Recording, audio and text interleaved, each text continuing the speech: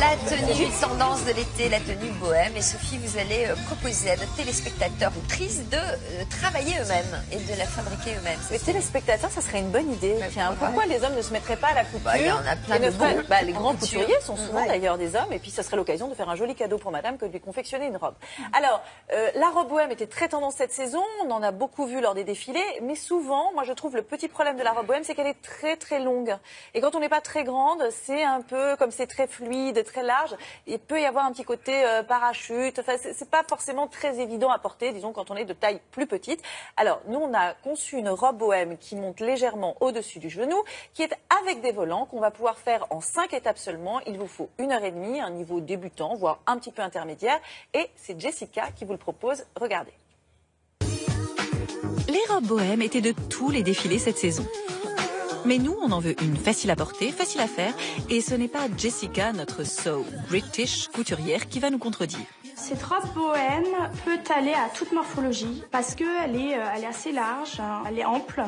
Ça peut être adapté sur les personnes euh, qui sont petites gabarits avec une ceinture pour recentrer la taille, pour marquer la ligne. Et ça peut aussi être porté très ample, légère, donc c'est pour tout le monde. Pour réaliser cette robe, il vous faudra un niveau débutant, 1h30 devant vous, 5 étapes évidemment. Là, la première étape, c'est juste de retracer le patron sur le papier de coupe. Matériel nécessaire, une paire de ciseaux, une règle japonaise, un crayon à papier et évidemment des épingles pour fixer le tout.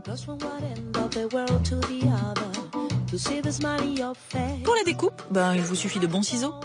Deuxième étape, on coupe autour de notre patron. Attention à bien faire l'avant et l'arrière. Pour assembler tous nos tissus, il nous faut une machine à coudre, des épingles, une paire de ciseaux, un fer à repasser et une surjeteuse. On commence par le galon en dentelle. On va juste les superposer sur 2 mm. On passe sous la machine et on pique au droit. Une fois la dentelle cousue, on passe tout le bas de la robe à la surjeteuse, histoire d'éviter les petits fils qui pendent, et on assemble en commençant par le galon.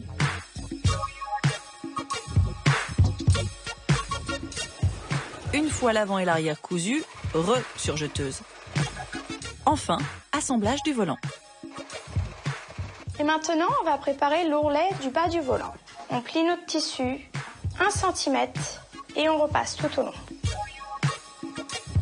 Suite et fin de l'étape, une fois le volant terminé, on l'assemble sur la robe. Pour pouvoir passer l'élastique, on va faire une piqûre à 1 cm sur le haut de la robe. Pour aider à passer l'élastique, on met une petite épingle à nourrice sur le haut. On glisse à l'intérieur et on fait tout le tour de la robe comme ça. Et enfin, on essaye évidemment. Alors Jessica, you like or you don't like? Elle est géniale, elle est très légère, agréable et euh, on se sent très mignonne dedans, euh, très très coquette. euh, elle est très confort pour aller à la plage, même pour le soir. À l'aise, coquette, c'est sûr. La robe bohème, l'essayer, c'est l'adopter. Oui, c'est surtout idéal pour se changer sur la plage. hein. Elle est très On bien. Et bien passer un maillot dessous. Ah, c'est une bonne astuce, ça, pour l'été, effectivement, quand on veut enlever le maillot et qu'il y a du monde autour, la robe bohème, elle le permet, c'est Voilà. c'est pratique. Je vais vous en prendre une alors. Vous voyez, vous aimez la robe bohème, finalement, elle Pour vous la plaît. plage, pas Dans mal. sa taille. Alors, et bien justement, elle est adaptée à toutes les morphologies. C'est ça qui est intéressant, parce qu'on peut la mettre avec des ceintures. Là, on a fait un petit floqué en dentelle et non en broderie, puisqu'on parlait de la broderie la dernière fois. Et il y a toutes sortes de tissus pour réaliser cette robe bohème, euh, Jessica. Donc, on peut avoir des tissus fleuris, alors avec des gros motifs à fleurs, des si on veut à peu près correspondre aux tendances printemps-été. Euh, je tiens vraiment à remercier Jessica, qui est anglaise, hein, qui nous a fait ça quand même de façon euh, assez euh, professionnelle, en cinq étapes. Alors, vous allez nous proposer avec les chutes de tissus de la robe bohème, à on fait fait. quoi, du coup? Alors, on peut faire un petit headband pour cet été euh, avec euh, Headband. headband headband. Alors c'est un petit serre-tête, le headband que voici, avec une jolie petite fleur et qui va s'avérer très pratique pour la plage aussi parce qu'il va tenir tous vos cheveux. Voilà. Et donc ça, voilà, on ne jette rien, on ne perd rien, puis on transforme. En fait, c'est- avec les chutes de tissu et puis le petit, euh, vous voyez le petit, on a fait un petit liseré en dentelle sur la robe. Il n'y on a va pas de chute de tissu, c'est ça le problème. Vous dites ça, Daniel, ce n'est pas vrai. On va vous emmener au prochain atelier couture et vous verrez qu'on aura aussi des chutes de tissu et qu'on pourra faire un joli petit serre-tête. Alors, euh, est-ce qu'on peut... Ça, c'est très facile à faire, apparemment. Ah oui, très facile. Donc, Ouais. on va commencer par quoi pour le confectionner? Alors, euh, pour le confectionner, déjà, il faut couper deux bandes de tissu, euh, 45 cm de longueur sur euh, 5 cm de largeur, Ouais. pour avoir euh, deux bandes. Après, on va plaquer euh, notre joli galon en dentelle sur un des côtés, sur l'endroit. Ouais. Après, le troisième étape, c'est tout simple. On pose les deux tissus endroit contre endroit, en Et- coup tout autour. Et on assemble. Tout à fait, en assemble. Vous avez aussi une petite astuce, on a parlé de surjeteuse. Alors, je voulais dire ça aux téléspectatrices, pour celles qui n'ont pas de surjeteuse, c'est ce qui permet en fait de faire en sorte qu'il n'y ait pas tous les petits fils, vous savez, qui pendouillent quand on coud quelque chose, c'est pas très joli.